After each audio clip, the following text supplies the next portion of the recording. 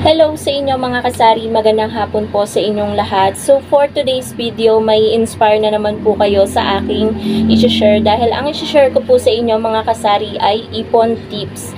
Ito guys, hindi ko to madalas ma-share sa inyo kaya gusto ko palagi siyang na-share sa inyo kasi marami ding nakakapagtanong paano nga ba ako nakakapag-ipon dito sa aking tindahan at paano ako nakakabayad ng aking mga bayarin.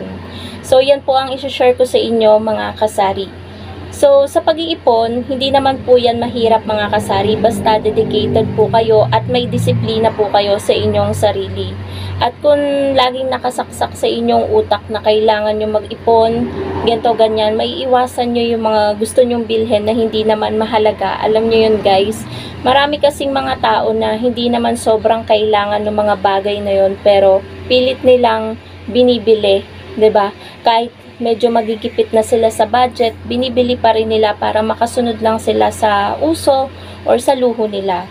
So, eto guys, ang pinakaunang ano ko sa inyo, tips na share ko sa inyo kung paano kayo makakaipon sa inyong sari-sari store is dapat disiplinado kayong tao. Ayan, papasok na dyan lahat. Kasi mga kasari kung disiplinado kayong tao, alam niyo yung benta ng tindahan ay para sa tindahan lang For example, ayan, meron kayong 1K na benta dyan. Ang pwede nyo lang galawin is yung kita nyo doon, which is yung kung 10% ang patong nyo, 100 pesos lang ang pwede nyong galawin sa 1,000 benta nyo. Bakit? Dahil kapag ginalaw nyo po yan lahat, wala na po kayong ipang papamili or pang rolling ng inyong mga paninda. The next day, ang dami ng kulang pero wala kayong sales kasi nga, ibinili nyo ng mga hindi mahalagang bagay. Hindi kayo disiplinadong tao. Syempre, 'di ba? Dapat may extra din kayong pinagkukunan. Hindi yung sa tindahan nyo lang kukunin lahat. 'Di ba mga kasari? Kasi sa ano na yon gawain na yon talagang uh, may pagkakataon na malulugi talaga yung inyong sari-sari store. So, paano nga ba ako nakakaipon dito mga kasari? Uh, isa na dyan yung pagtitipid. Yung pagtitipid, alam niyo yan guys, alam niyo naman, kilala niyo ako.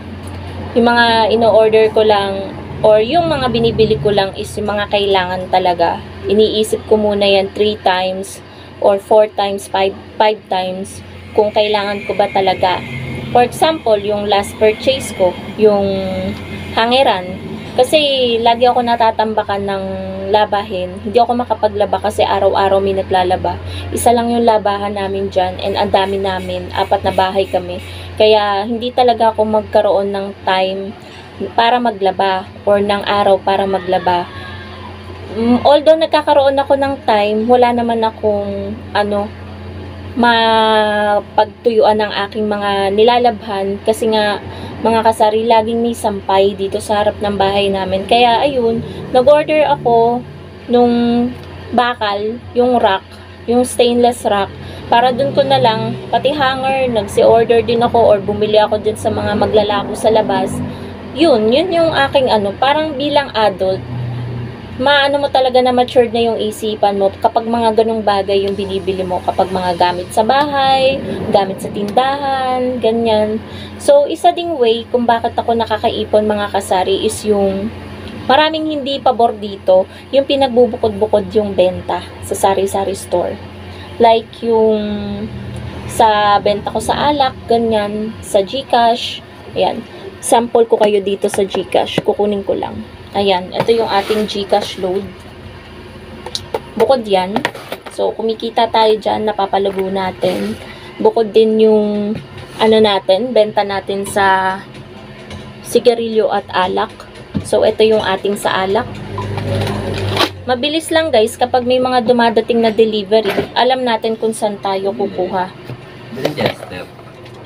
So, I'm back mga kasari, meron lang bumili ng sigarilyo. Isang libo pa nga yung binabayad, may barya naman pala nakatago na 50 pesos. 30 pesos lang, pero isang libo yung inaan. Sabi ko wala, binabawi ko yung sigarilyo. Nung binabawi ko yung sigarilyo, dumam, kumuha na doon sa kanyang maliit na bag. Ano siya, nagpapagawa dito sa... Ba siya? Ayan mga ka-super. Pahinto-hinto na yung vlog natin. Iinom muna ako at medyo sumasakit na yung aking lalamunan.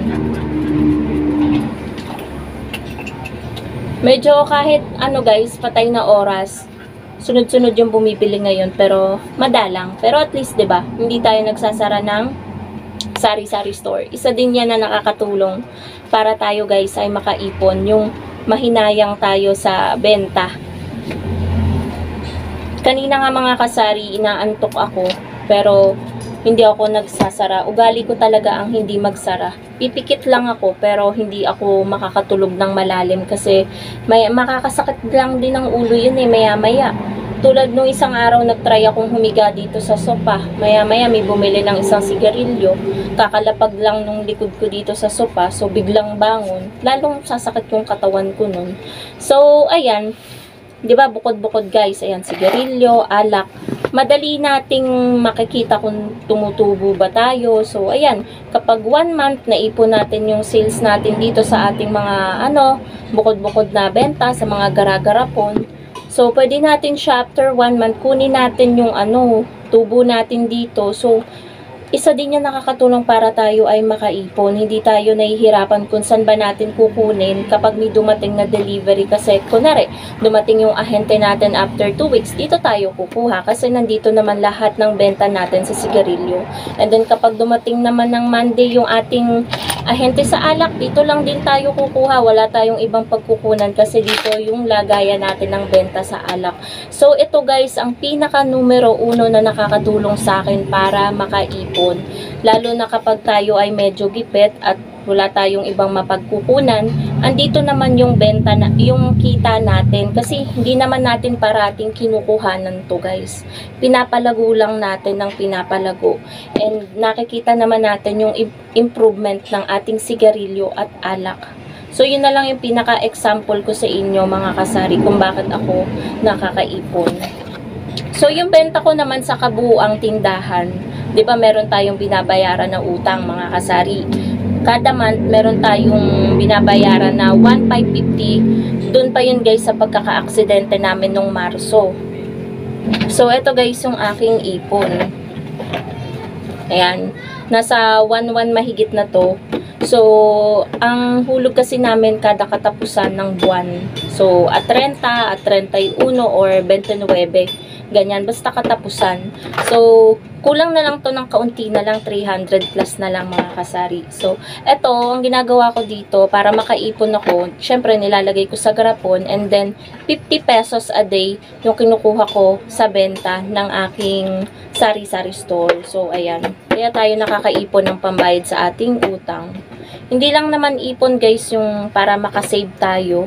Yung ipon na sinishare ko sa inyo is para pambayad din ng mga utang-utang or ng mga bills natin, 'di ba? Or panggastos natin. For example, ito namang ating isang garapon dito or tab. Meron naman siyang tag na gas. So, mag-iisang buwan na yung aming ginagamit na tangke uh, umaabot kasi yun ng magdadalawang buwan. Siguro mga 2 weeks pa yung itatagal nun. So, ayan, meron na din tayong ipon. Paano naman ako dito naguhulog a day? Nagkakaltas ako mga kasari ng 20 pesos a day dun sa aking sales dito sa aking sari-sari store. Hindi siya masyadong masakit sa tindahan kasi 20 pesos a day. So, ayan, hindi tayo nahihirapan kapag biglang wala na tayong panduto. Kunwari, nagsalang tayo ng sinaing. At kaya ayaw gumana, pala ubus na. So, dito tayo kukuha. Ganyan guys yung aking technique and tips na rin sa inyo para hindi kayo, ano, maubusan ng pambayad sa mga kailangan bayaran. And doon nga sa una kong sinabi, kailangan talaga maging disiplinado tayo and alam natin yung ating mga responsibility, 'di ba? Bilang isang adult at bilang isang tao. So, ayan, kaya naman ako guys nakakaipon. Meron lang bata kaya medyo nade-distract ako. Patingin-tingin siya. Kaya tayo nakakaipon is nasa mindset din kasi natin mga kasari na kailangan nating mag-ipon. Hindi yung basta lang tayo nagtitinda sa ating sari-sari store, ganyan. Ayan, lumaglag yung isang pera. Hindi lang yung basta nagtitinda tayo. Kailangan, di ba, parang meron din tayong, kumbaga, konting kurot sa kita ng tindahan. Hindi ko naman lagi guys kinukuhanan yung ating tindahan kasi alam nyo naman na dito din tayo kumukuha ng budget natin sa pang-araw-araw, sa pangkain natin. Pero ngayon guys, kasi 'di ba lately madalas wala si Jowa, Ruma- rumarakit-rakit siya ganyan. So ngayon is nandun siya sa side niya. Siguro mga one week mahigit na siya doon. Kaya madalang nyo na siyang makita at palagi kong kasama dito si Basha. So, ayun, medyo tipid tayo kasi kapag si Jowa ang nandito, ang bobongga ng mga binibili niyang ulam. Pero ako, okay lang ako ng patokwa-tokwa. Yung mga alaga ko lang ang medyo social din sa pag-uulam. Pero sa akin lang, nakakatipid. Ayan, meron lang guys dumaan.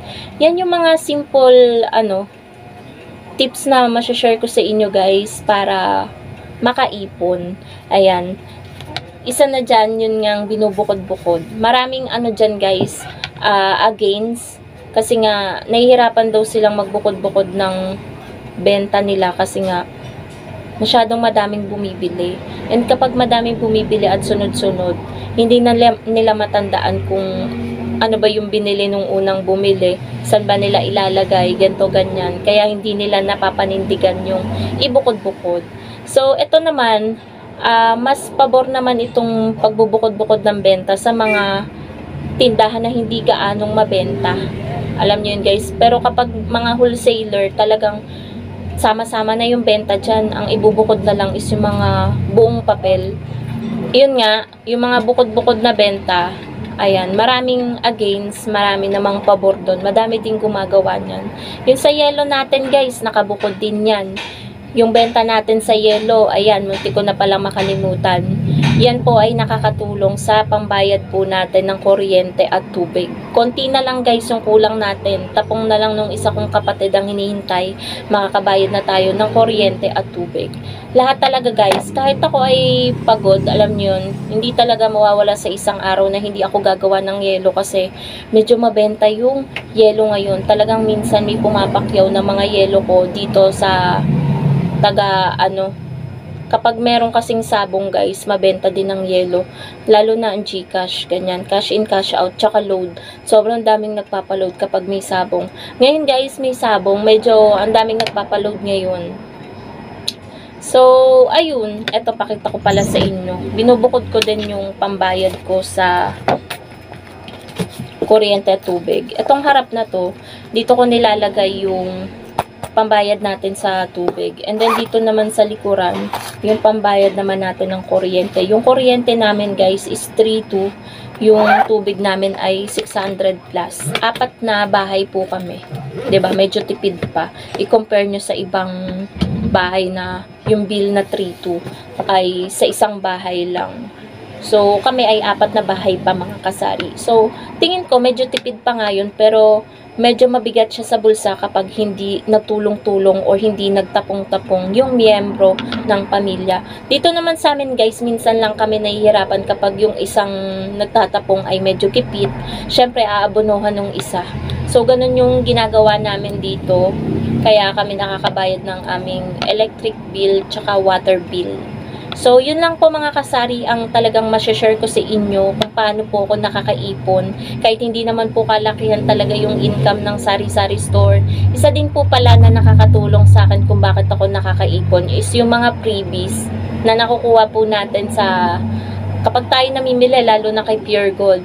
Yung mga freebies na yan, kapag naibenta natin yan, ay dagdag kita din po yan sa ating sari-sari store, ba Malaking halaga na din po yan. At isa din po yan na nakakatulong talaga kung bakit tayo nakakaipon. And minsan guys, napapaisip na lang ako, paano ko ba nagagawa yun? ba Tubo lang natin sa ating mga paninda, piso, dalawang piso, limang piso, sampung piso. Bakit tayo nakakabili ng mga basic needs natin bilang tao, 'di ba? May kanya-kanya tayong pangangailangan. Nakakabili tayo ng mga bagay na gusto natin, nakakabayad tayo ng mga utang. So, sa daming 'yun, guys, 'di ba? Syempre, nasa diskarte na din natin yon sa pagmamanage ng ating sari-sari store kung bakit tayo nakakaipon at nagagawa natin yung mga bagay na yun. Kasi kung iisipin mo, napaka-imposible sa isang maliit na sari-sari store na magampanan yung mga ganon, ba? Nakakaipon tayo, nakakapagbayad ng utang, nakakapagbayad ng mga bills na kailangan bayaran, at nakakabilit pa tayo ng mga masasarap na pagkain. ba po mga kasari? So, yun lang po ang masashare ko sa inyo. Dapat maging disiplinado lang din po tayo para po tayo ay makaipon. Huwag po tayong bili, bili ng bili ng mga bagay na hindi naman mahalaga. So, yun lang po mga kasari. Sana na-inspire ko po kayo sa mga na-share ko. Although yung mga iba doon, palagi ko nang na-share sa inyo. Pero, ang sarap. Ang sarap i-share ng mga ganito na, alam niyo yun, based on my experience, ayun guys, kung paano tayo nakakaipon at nakakapagbayad ng mga kailangan bayaran. So, yun guys, kung na-inspire ko kayo, don't forget to like, comment, share, and subscribe to my YouTube channel.